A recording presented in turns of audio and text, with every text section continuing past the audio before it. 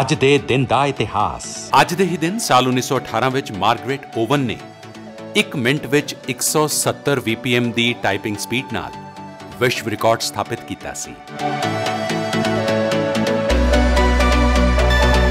ਅੱਜ ਦੇ ਹੀ ਦਿਨ ਸਾਲ 1945 ਵਿੱਚ ਔਰਤਾਂ ਨੂੰ ਪਹਿਲੀ ਵਾਰ ਵੋਟ ਪਾਉਣ ਦਾ ਅਧਿਕਾਰ ਮਿਲਿਆ ਸੀ।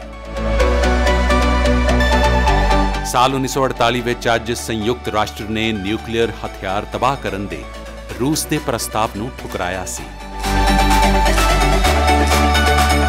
ਸਾਲ 1950 ਵਿੱਚ ਅੱਜ ਹੀ ਬੈਲਜੀਅਮ ਵਿੱਚ ਮੌਤ ਦੀ ਸਜ਼ਾ ਨੂੰ ਖਤਮ ਕਰ ਦਿੱਤਾ ਗਿਆ ਸੀ।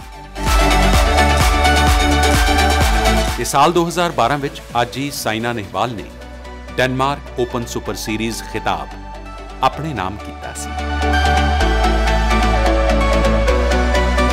ਇਤਿਹਾਸ ਇਨਸਾਨੀ ਤਜਰਬਿਆਂ ਦੀ ਇੱਕ ਲੰਮੀ ਕਹਾਣੀ ਹੈ, ਜੋ ਸਾਨੂੰ ਸਮਝਾਉਂਦੀ ਹੈ ਕਿ ਇਨਸਾਨ ਨੇ ਜਦੋਂ-ਜਦੋਂ ਵੀ ਸਹੀ ਸਮੇਂ ਤੇ ਸਹੀ ਫੈਸਲੇ ਲੈ ਕੇ ਨੇਕ ਤੇ ਸੁੱਚੇ ਕੰਮ ਕੀਤੇ ਨੇ, ਉਦੋਂ ਹੀ ਇਤਿਹਾਸ ਵਿੱਚ ਜਗ੍ਹਾ ਬਣਾਈ।